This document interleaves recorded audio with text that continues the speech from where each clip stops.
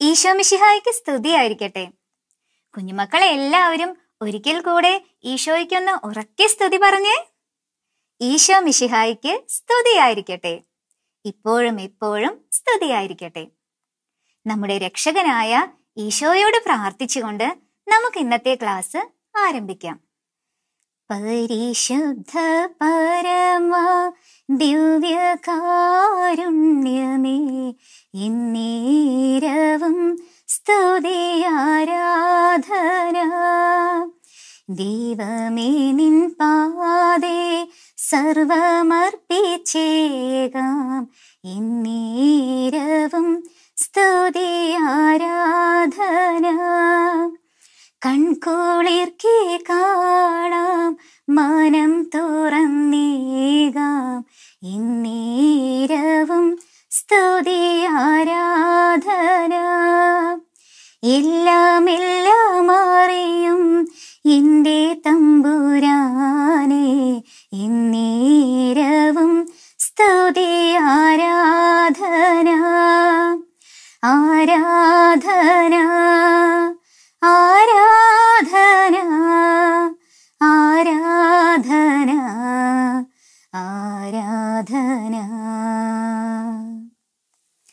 ദിവ്യകാരുണ്യ ഈശോയോട് കുഞ്ഞുമക്കളെ എല്ലാവരും നന്നായി പ്രാർത്ഥിച്ചില്ലേ? പ്രാർത്ഥിച്ചു അല്ലേ ഈശോയുടെ ജനനത്തെയും പരസ്യ ജീവിതത്തെയും കുറിച്ചാണ് കഴിഞ്ഞ ക്ലാസ്സുകളിലൂടെ കുഞ്ഞുമക്കൾ പഠിച്ചത്.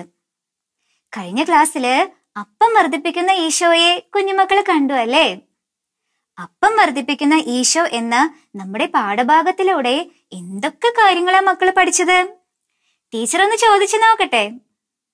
ഈശോ എത്ര അപ്പവും മീനും വർദ്ധിപ്പിച്ചു എന്നാ നമ്മൾ കണ്ടത്? ആരോണൊന്ന് പറഞ്ഞേ? അഞ്ചപ്പവും രണ്ടു മീനും. എത്ര പേരാ ഈ അപ്പവും മീനും ഭക്ഷിച്ച് തൃപ്തരായത്? അന്നമോളെന്ന് പറഞ്ഞേ. അയ്യായിരം പേർ. ഈശോ നമ്മുടെ ശരീരത്തിന് മാത്രമാണോ ആഹാരം നൽകുന്നത്?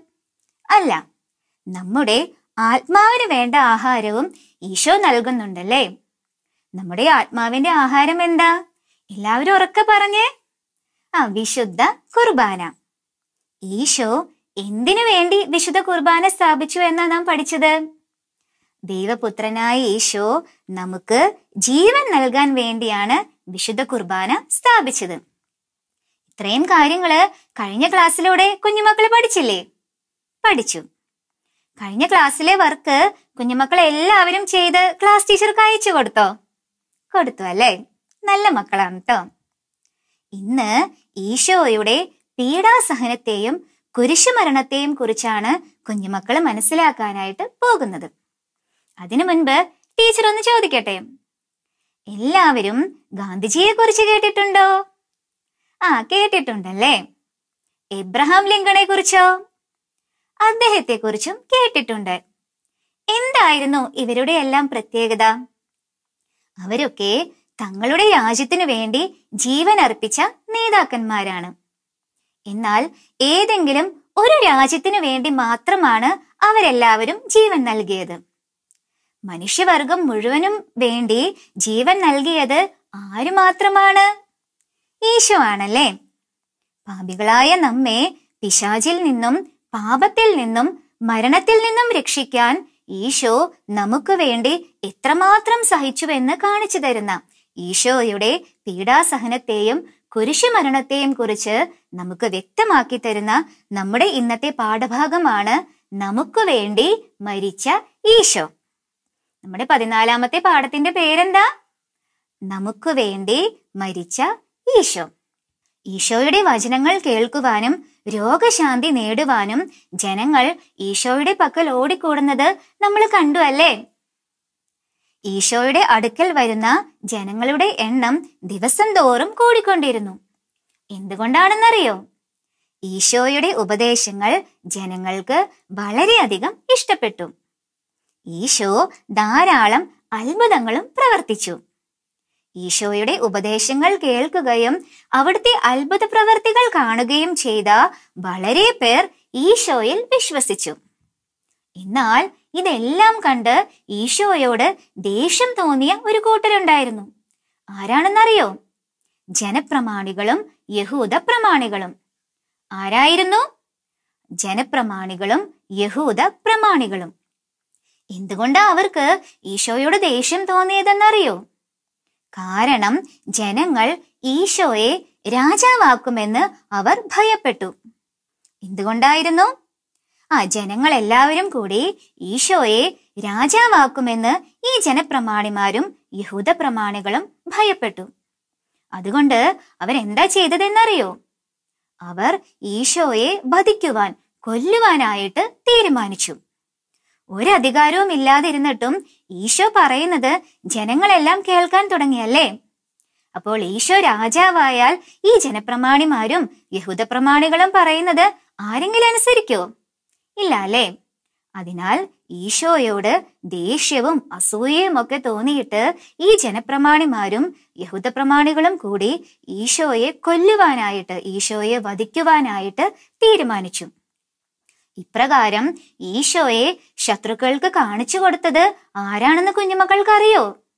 സ്വന്തം ശിഷ്യനായ യൂദാസ് കറിയോത്ത. ഈശോയുടെ ശിഷ്യന്മാരെ പറ്റിയൊക്കെ കുഞ്ഞുമക്കൾ നേരത്തെ പഠിച്ചിട്ടുണ്ടല്ലോ. ഈശോയ്ക്ക് എത്ര ശിഷ്യന്മാരാ ഉണ്ടായിരുന്നത്? ആ പന്ത്രണ്ട് ശിഷ്യന്മാരല്ലേ? ആഗ്നൽ പറഞ്ഞത് ശരിയാണ്. മെടുക്കി.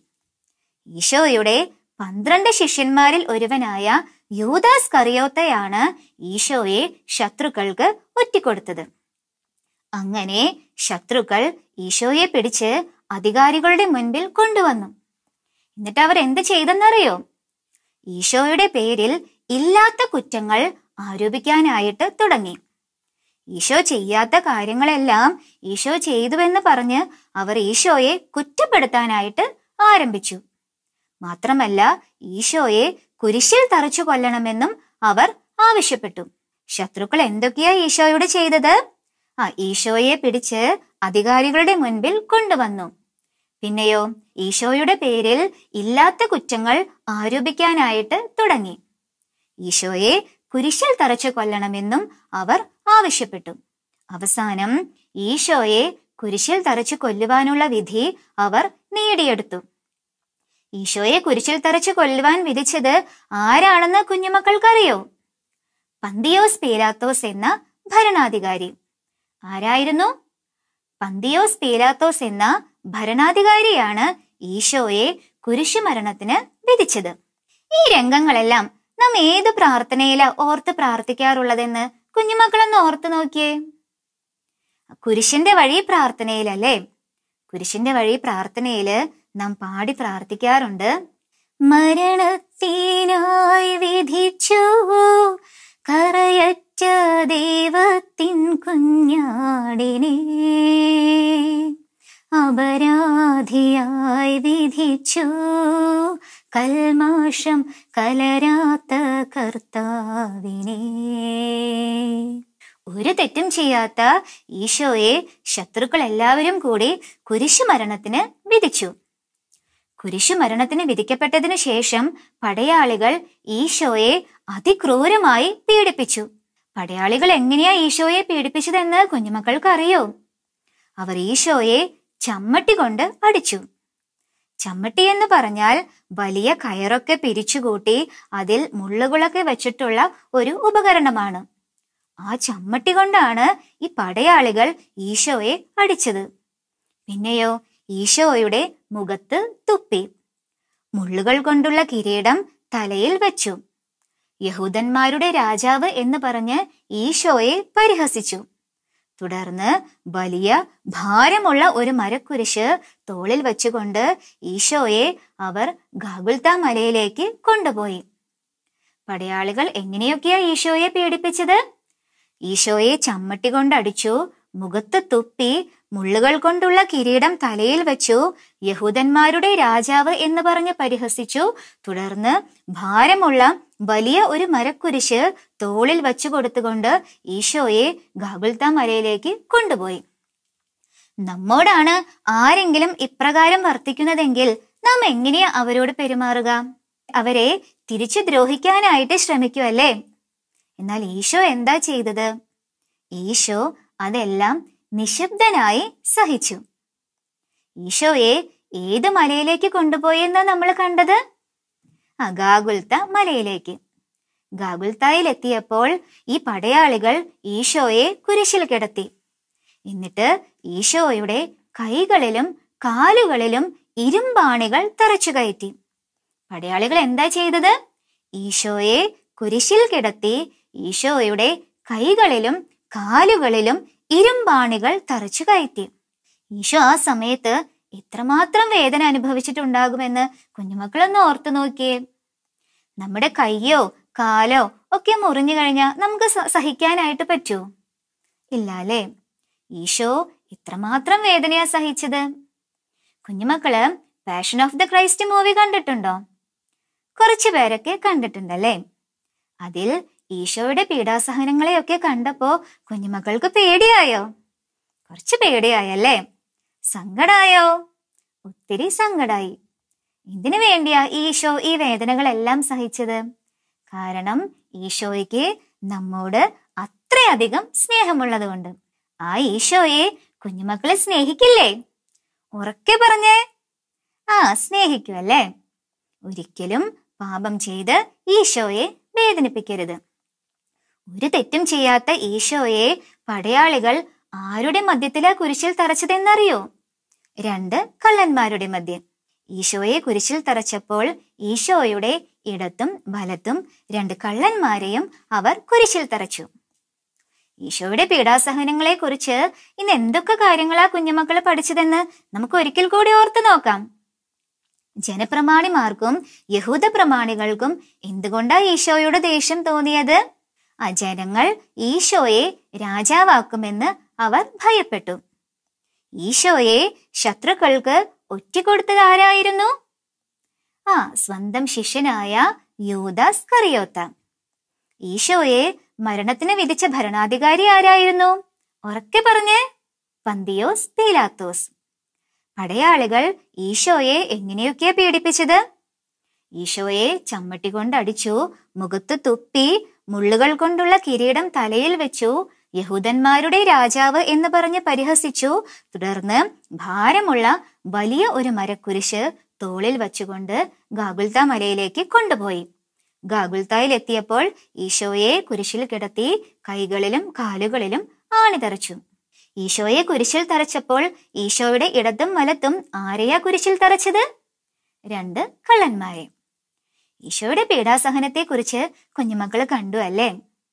ഈശോയുടെ പീഡാസഹനങ്ങളെ പറ്റി പഠിച്ചപ്പോൾ ഈശോയെ ഈ പീഡകൾക്ക് ഏൽപ്പിച്ചു കൊടുത്ത കുറച്ചു പേരെയും നാം കണ്ടു.